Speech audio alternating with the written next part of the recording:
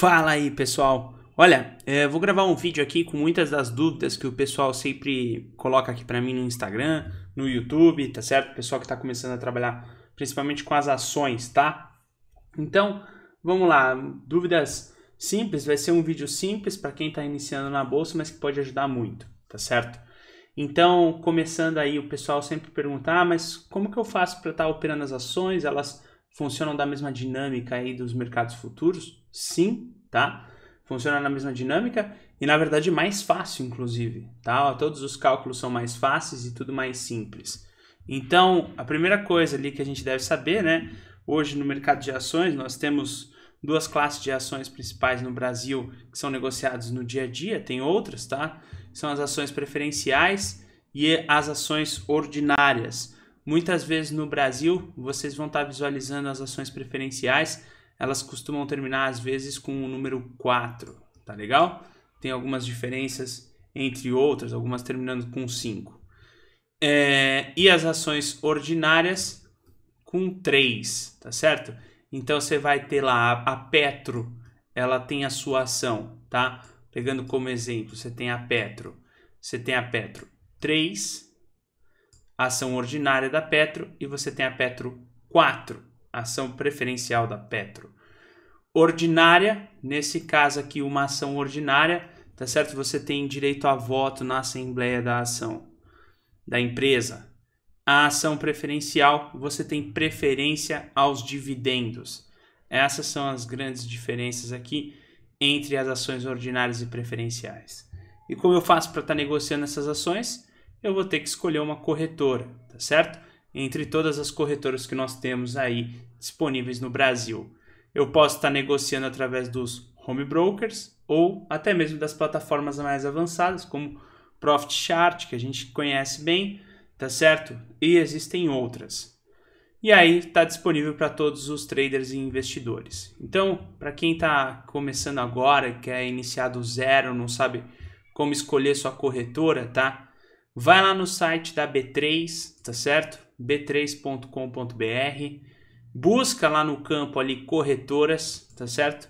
E ela vai aparecer para vocês as corretoras, as principais corretoras disponíveis para nós, tá certo? E daqui você pode escolher, você sabe que é uma corretora credenciada ali, trabalhando na bolsa ali disponível para você é todas essas corretoras vão estar oferecendo seus serviços de plataforma, serviços de home brokers e coisas do tipo, tá certo?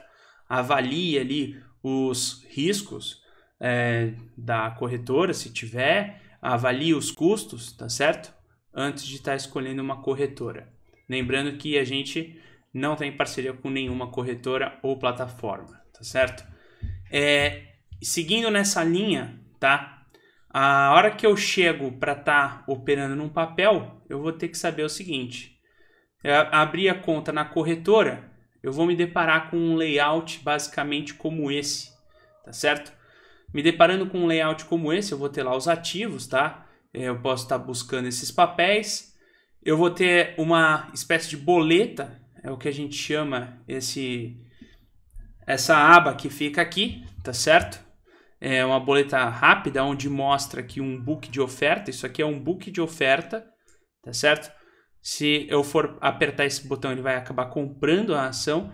E se eu for apertar esse botão, ele vai acabar vendendo a ação. Aqui ele vai mostrar para mim o preço da ação, a ação que está sendo negociada, tá certo? E a variação no dia. Lembrando que esse book de oferta, quando ele aparece aqui, tá? Quantidade é a quantidade de ações que estão tá, sendo disponibilizadas no book, a melhor oferta de compra, nesse caso, qual que está sendo a melhor oferta de compra, também conhecida como bid, então tem, isso significa que tem gente é, disposta a pagar aqui 20,57, tá? E aí na outra ponta você tem a melhor oferta de venda, tá certo? E a quantidade disponível ali para venda. E nesse caso, tá legal? a gente vai identificar o seguinte: se der match um com o outro, sai negócio e fecha o preço do papel, tá certo? Basicamente igual o, o pessoal está acostumado com o mercado futuro.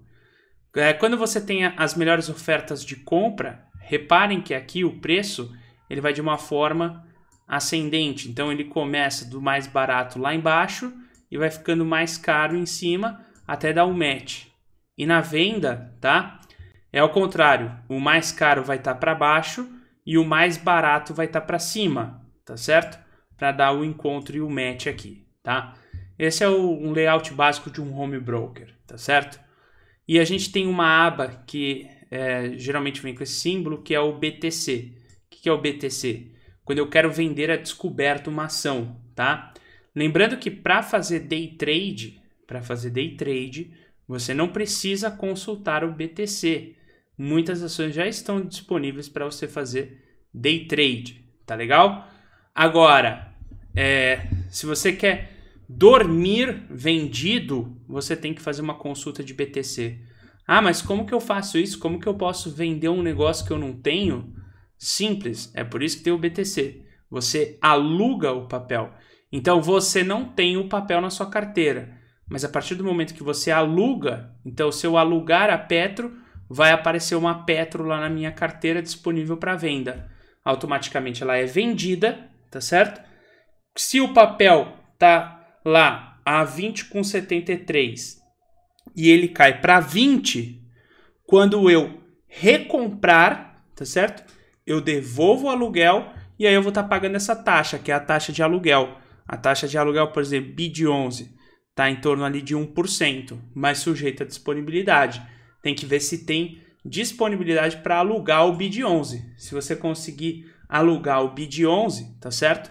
Você vai alugar o papel, ele vai cair na sua conta, tá certo? Lá você pode vender ele e quando você recomprar, você vai estar tá pagando 1% de juros sobre o montante do valor que você vendeu, tá certo? Que você alugou do papel, tá correto? É um processo basicamente simples. O processo burocrático por trás não vem ao caso aí da gente se estender, tá?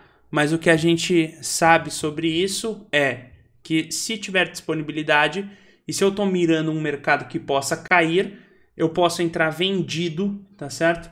No papel, desde que haja disponibilidade de aluguel e desde que a taxa também não seja alta, né? Porque pegar papel com taxa alta começa a ser um pouco mais perigoso. Existem papéis que têm taxa aí na casa de 80%, tá? Então, esse basicamente o layout básico ali de um home broker. Além disso, tá? A gente também é, visualiza a boleta, tá certo? Boleta, então você, você vai ter o ponto de compra e o ponto de venda. Você clica em um ou outro, dependendo de onde você quer. Então, quero comprar. Quer comprar? Coloca o ativo, o símbolo do ativo, a quantidade. Lembrando que quantidade no Brasil vai de 100 em 100, tá certo? Vai de 100 em 100, tá? E o preço, qual que é o preço que eu estou disposto a pagar? Ah, estou disposto a pagar 86,50 para a ação da BTOW 3, ação ordinária da BTOW, tá certo? Qual a validade da minha ordem? Hoje, tá certo? Essa boleta de ordem escondida, mais para frente a gente fala sobre isso, tá? Mas basicamente o que eu tenho que saber é o principal aqui. Aí eu vou ter uma assinatura eletrônica, coloco, consigo enviar a ordem. Veja que interessante também, né? A pergunta que eu sempre recebo dos amigos é: eu posso estar tá comprando ações com menos capital? Sim, tá certo? Veja, para comprar 100 ações da BTOW são necessários R$ 8.650, tá certo? Mas você pode estar comprando ela se você tiver disponível ali uma garantia a partir de R$ 2.500, tá?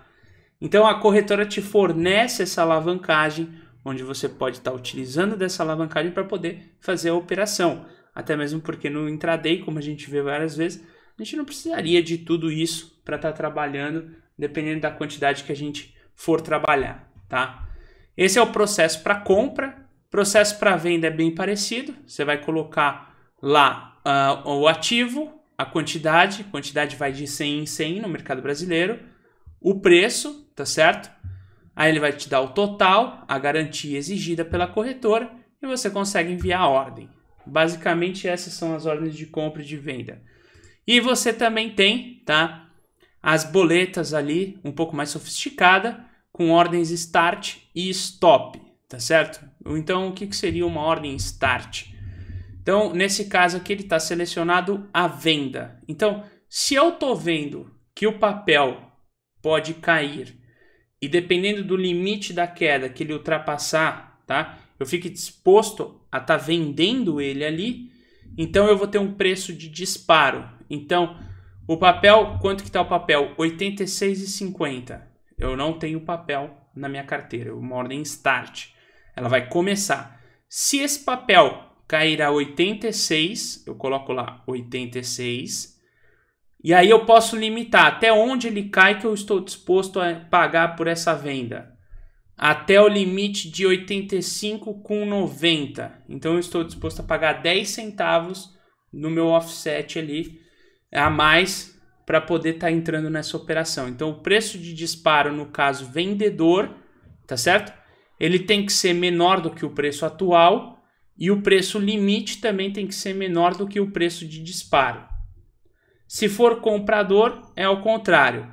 Comprador, o meu preço de disparo, ele tem que ser maior do que o preço atual, porque eu vou estar disposto a comprar se a ação subir a partir de 87. Então, a partir de 87 eu vou estar disposto a comprar. Ele vai mandar uma ordem de disparo lá no 87, com limite até 87 com 10, tá certo? Mandando uma ordem como essa, eu vou ter uma ordem start. Somente se ela chegar nesse preço, ela vai estar tá executando a ordem. E a ordem stop é basicamente o mesmo processo, tá? Da ordem start, só que a diferença é que aqui, tá legal? A gente já tem o papel e está estopando o papel, ou seja, eu estou saindo fora do papel. Aqui basicamente eu não tenho papel, por isso que está até em azul, tá certo? Não tenho. Aqui eu tenho, tá? Então, na situação, por exemplo, stop gain, eu posso definir um stop gain. Comprei a BTOW a 86,50. Se ela chegar a 87, ela vai lançar um preço de disparo de venda. E aí, nesse caso, o limite terá que ser abaixo, tá certo? Preferencialmente para você poder sair dela rapidamente. E se eu comprei ela no 86,50, tá legal? E ela cair, então ela caiu e eu tenho que estopar, é o meu stop loss. Nesse caso, o meu stop loss, ele vai estar tá digitado lá em 86. É o meu preço de disparo. Até quanto eu estou disposto a perder mais para poder garantir a minha saída no papel? Eu posso pôr 86 como o meu preço de disparo da minha ordem stop loss, tá certo? Com mais 50 centavos para baixo, ou seja, 85,50. Dessa forma eu vou conseguir garantir a minha saída nesse mercado caso haja, né, a necessidade de ativar um stop loss. Então essas são as boletas aí mais sofisticadas, tá certo? A gente tem também as plataformas avançadas aí de negociação. É, então, no caso, por exemplo, eu acabo muitas vezes utilizando o Profit Chart, tá? É, nesse caso, ele vai ter também a boleta, tá certo?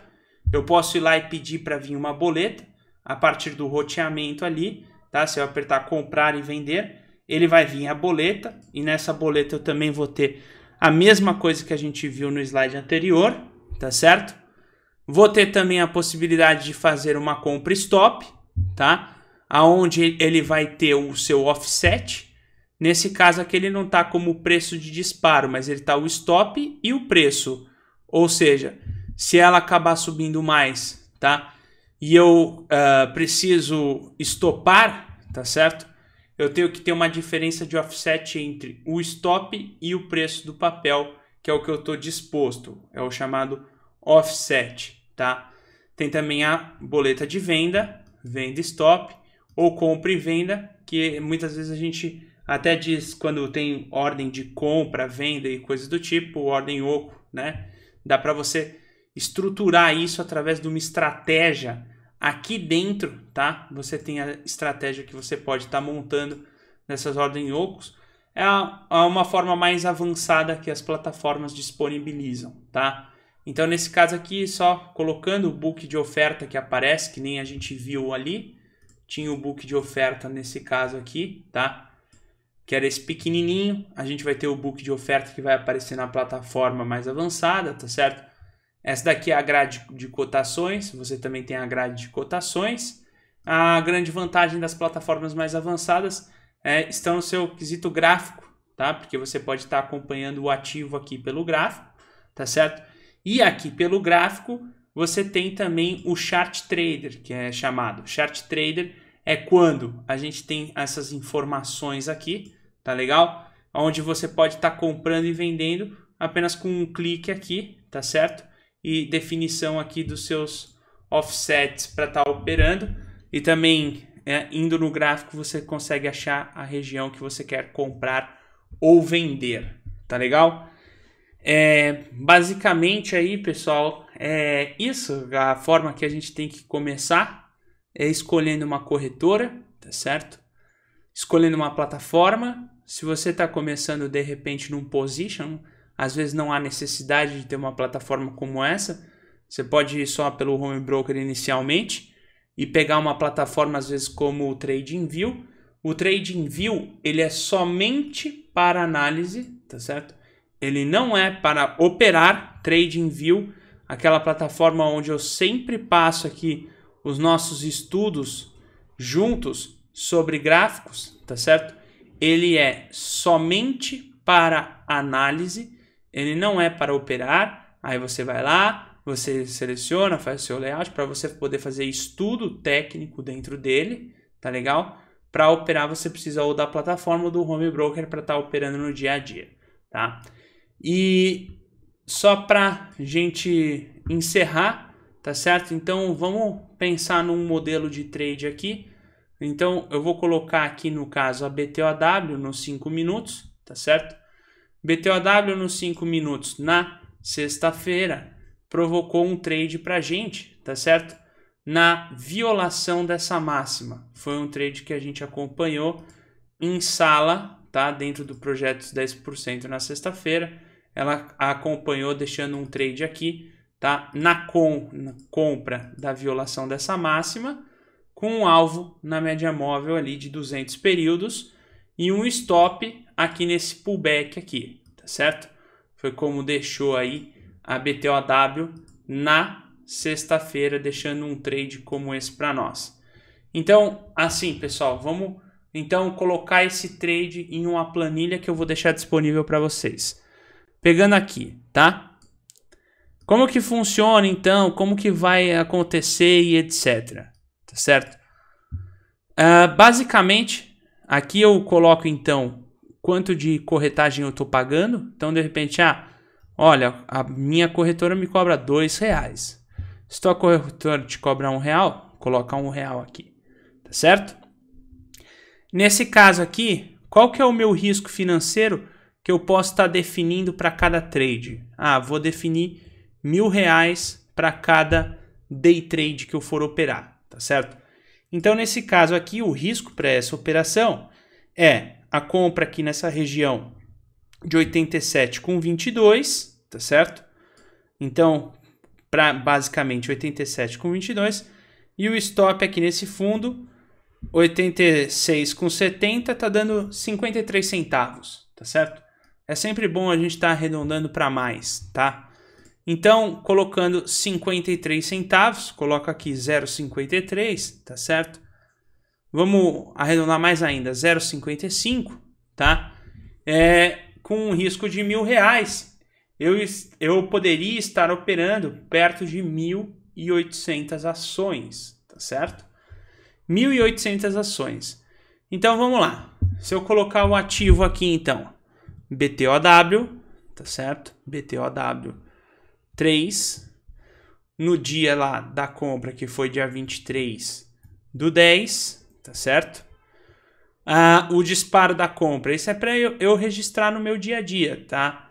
A partir da violação aqui dessa máxima, vamos definir como 87 com 23, 87 com 23, tá? E nesse caso aqui, é para registrar Eu posso definir o meu stop pelaquela outra planilha que a gente passou. Mas só para a gente ter mais ou menos uma ligeira ideia de como seria caso tivesse um prejuízo aqui, amargando um prejuízo lá no stop. O stop ficaria perto de 86 com 72. 86 com 72, tá? Como eu estou disponível até 1.800 ações, eu coloco 1.800 ações. Caso haja esse stop, quantas corretagens eu tenho que pagar? Uma para entrar, uma para sair, tá certo? Então, ele define um real a corretagem, só que eu tenho que pagar uma para entrar, uma para sair, tá legal? Ele vai estar tá dando lá os mil reais que a gente definiu de risco. Caso ele chegue ali na nossa nosso alvo, que é a média móvel de 200 períodos, 88 com 41, que foi onde foi esse trade, 88 com 41, tá? Ele ia estar tá me dando aí por volta de dois mil reais, tá certo? E aí eu vou ter que fazer as contas, né? Ah, como é que funciona os custos, tá certo? Ah, como é que funciona os custos? Ele vai ter o emolumento para o seu pro day trade, tá certo? Basicamente ele vai estar tá cobrando 0,025 mais a corretagem e se você tiver ganho, ele tem um come cota, pum, pega 1% na fonte, é, você consegue definir aqui. Então você define seus custos, tá? Para você ter uma ideia, operando 1.800 ações, você estaria negociando perto de 157 mil reais, tá? Porém, a corretora, ela te dá uma margem de alavancagem, te dando uma margem de alavancagem, vamos supor, de 10 vezes, muitas vezes as corretoras dão, tá? necessitaria ter aqui em conta 16 mil reais para estar tá fazendo esse tipo de operação, para você ver o tamanho da alavancagem, tá? Necessitaria por volta de 16 mil reais. Entre compra e venda, ele soma o seu valor, então você negociou por volta de 316 mil reais, que é onde ele vai fazer a conta dos seus emolumentos e coisas do tipo, tá certo? Se você teve ganho, ele vai descontar 1% do IR ali na cabeça. Isso para day trade, você tem também swing trade que você pode estar tá fazendo. A diferença brutal no swing trade é o emolumento, tá certo? Que é outra taxa aqui de emolumento e não vai ter o, o, o imposto ali na hora da nota, tá legal? É, e você também tem aquele lance com vendas, é, dependendo do valor, você fica isento ali da tributação naquele mês. Então, basicamente aqui, pessoal, é interessante acompanhar isso. Ah, dá para eu operar com 200 ações?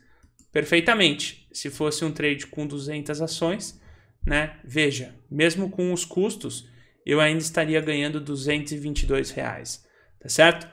O líquido para uma operação dessa seria por volta de 236 reais, mas com os custos sairia, sairia por volta de 222 reais. Ou seja, dá para operar, tá certo? E 17 mil quanto que a gente necessitaria ter mais ou menos em conta, dependendo da corretora que a gente utiliza. Depende da corretora, você vai ter que ter uns 3 mil reais ou uns 5 mil reais. Depende muito da corretora que você for utilizar. Portanto, na hora de abrir sua conta, avalie qual corretora é, te disponibiliza ali um risco adequado nas operações no dia a dia. Quando você definir seu risco tá? 200 reais, você pode definir aqui, ó, qual que é o meu risco financeiro que eu quero definir? 200 reais por operação. Nesse caso, ele deixaria você trabalhar até 300 ações, tá? Então, se eu trabalhasse até 300 ações, é, num trade como esse, eu teria um risco de 200 e ele traria aqui uma oportunidade de até 335 reais de ganho. É, lembrando que se tiver, por exemplo, dando aqui 375, eu posso arredondar para 400. Menos, é melhor eu arredondar para menos para não ter surpresa, tá? Então, basicamente é isso. Eu vou deixar essa planilha disponível no Instagram, naquele link da bio, para quem quiser, pode ir lá e pode abaixar essa planilhinha para ir registrando seus trades no dia a dia e também para conhecer os custos envolvidos numa operação aí no mercado. Não só de day trade, como de swing trade. Então, por exemplo, um último swing trade que a gente teve na bolsa foi no Banco do Brasil, tá certo? Banco do Brasil, ele acabou deixando para a gente um contexto de trade, tá certo? Então vamos lá, vamos pegar aqui, ó. Foi esse swing trade aqui, ó, tá certo? Veja, ele deu uma compra, tá? tem até uma setinha aqui, ó, indicando a compra. E ontem ele fez um parcial, tá certo? Então, essa compra aqui, ela tinha o seu stop aqui nessa mínima, tá? Em 30 com 21, aproximadamente. E a compra aqui em 31 com 75. Então, eu vou lá registrar aqui. Então, meu ativo, BBAS, tá certo? BBAS3. Registro lá a data da compra, né? A data da compra foi no dia 20 do 10. 20 do 10, a data da compra. É, a data da venda, se você fez o fechamento, coloca aqui, realização ok. Nesse caso aqui, ainda não fiz o fechamento dessa operação, ela ainda não foi fechada, tá certo? Data da venda. Data da venda parcial já foi executada no dia 23, mas ainda não fechou. Em todo caso, ela está sendo fechada em parciais, tá certo? É bom eu deixar é, é, anotado do lado ali, tá? A compra, então, 31 com 75 aproximadamente, tá? E a venda, a, a, essa venda acabou sendo em 33 com 53, tá certo? Quanto que nesse caso ela deixaria eu estar trabalhando se eu quisesse colocar um risco de apenas 200 reais, tá certo? Veja, a diferença aqui entre o meu preço de entrada e o meu preço de stop é que vai definir a quantidade que eu posso estar trabalhando. Então essa diferença está dando em torno de 1,45. 1,45 defino ali na plataforma, 1,45 aqui na planilha, tá certo? Se eu quiser colocar 200 ações para fazer esse swing trade, tá? Eu estaria permitido a uma quantidade de 138. O mercado existe fracionado onde eu poderia fracionar mais entradas. Mas nesse caso vou deixar arredondado para baixo, seriam 100 ações. Então até então esse swing trade estaria dando 171 reais, tá certo? Isso colocando os custos de corretagem, por exemplo, a 2, dependendo da sua corretagem você muda, e também já deixando aqui o emolumentos. Lembrando que desse valor, se você tiver lucro, você vai ter que fazer a apuração lá do seu imposto, tá? É, nesse caso aqui, vamos supor, não, mas eu quero fazer um swing trade de 600 reais.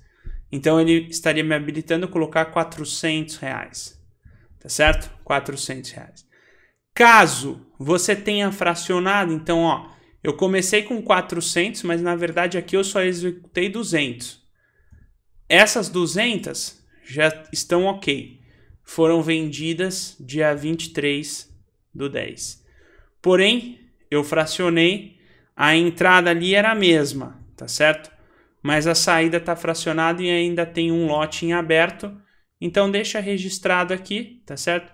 Para você poder ter o seu controle do que você está fazendo. Então nesse caso ainda está em aberta 200 ações. Quanto que está aproximadamente o papel? Ah, o papel está aproximadamente, fechou a quanto ali? Fechou a 33 com 53. 33 com 53 foi o fechamento. Então, até então teria isso, tá? Se houver uma mudança, de repente, ah, fechou 32, tive que sair. Então, o total da minha operação vai ficar em torno aí de 389 reais, tá certo? A única diferença vai estar na corretagem, porque aqui nesse caso a corretagem de entrada aqui, ela já foi paga, então vai ser só uma corretagem de saída, tá certo? Hoje, com as corretagens baratas, a conta fica bem mais fácil. Antigamente, corretagem era 20, 30 reais. Aí era bem mais caro estar tá fazendo essas, esses cálculos. É, mas o que importa aqui, pessoal, em si, é que dá para a gente estar tá operando com menos capital. Tá certo? Como vocês viram, a corretora te dá margem para trabalhar. Quando você pega uma ação tá, que tem uma volatilidade maior, como a gente vê, a garantia exigida acaba sendo mais alta. Uma ação com uma volatilidade menor, a garantia exigida acaba sendo mais baixa. Então, a pergunta que sempre fica: eu posso operar com 10 mil reais ações? Óbvio, dá para operar. Os custos vão estar tá me massacrando? Não, não vão. Porque com 10 mil reais eu já sei o seguinte, tá? Eu necessitaria, nesse caso aqui desse trade, ó, 12 mil reais para estar tá fazendo ele, tá certo? 12 mil reais, 12.700 reais aproximadamente. Eu tenho a margem na corretora. com a margem da corretora, vamos supor que a margem ali tivesse em torno de 5 vezes a alavancagem, ou 4 vezes, duas vezes a alavancagem. Vamos por duas vezes de alavancagem. Então, é, nesse caso, 12.700, tá certo? Com duas vezes de alavancagem, a gente já está precisando de 6.350, que é o que está mostrando aí. E esse trade, ele poderia estar tá tirando para você aí, tá? Tranquilamente, um, um, um trade como esse, tá certo? Por volta de 400 reais. Então, você precisa de 6 mil reais para ganhar 400 reais. É, dá para trabalhar, tá certo? Se eu conseguir encaixar três trades por, é, desse por mês, já é um começo nas ações eu já começo a evoluir, vou aprendendo, vou aportando capital, tá certo? Eu tenho um, outro trabalho, então do meu outro trabalho consigo aportar dois mil reais por mês na bolsa para poder estar tá investindo nas ações, vou aportando e por aí eu vou crescendo, tá legal? Então dá para começar, a gente deveria estar começando e a indicação de começar é começar pelos papéis. Os papéis são mais tranquilos. Os papéis têm uma coisa que os futuros no começo não têm. Você pode colocar o risco que você quer pelo financeiro. Se você quer um risco de 50 reais, tá certo? Ele vai te permitir só 34 ações. Você tem um instrumento aqui chamado fracionado, onde você pode estar negociando isso. Então você vai lá no BBAS fracionado e você pode estar negociando isso no fracionado, tá certo? você tem essa possibilidade de estar começando, de estar experimentando o mercado, tá? E você pode regular essa quantidade. Futuro, como a gente sabe, o risco ele não consegue ultrapassar. Às vezes a pessoa está começando, é um, dois contratos e já é muito alavancado o dólar, o índice, coisas do tipo. As ações se regula, tá certo? Quando você regula, significa que você tem margem de manobra, né? Como eu digo, o carro, ele vai para frente, ele vai para trás, ele vira para a esquerda, ele vira para a direita. O carro ele faz isso. Se você for trabalhar no mercado futuro na tampa do seu gerenciamento de risco, você só vai conseguir para frente. A hora que de repente chegar na curva, vai vai dar ruim, tá certo? Vai dar ruim. Para não falar outra palavra aí para vocês, pessoal. Beleza? Bom, espero que tenha ajudado, tá? Esse conteúdo é um conteúdo bem para iniciante. Eu recebo muita dúvida sobre isso mesmo. Pessoal que está mais avançado, pessoal, perdoem aí o vídeo aí, se caso ficou muito no iniciante, se acabou assistindo esse vídeo, esse vídeo foi dedicado a quem está começando, tá certo? Muito obrigado a todos e a gente se vê até na próxima aí, pessoal. Tchau, tchau.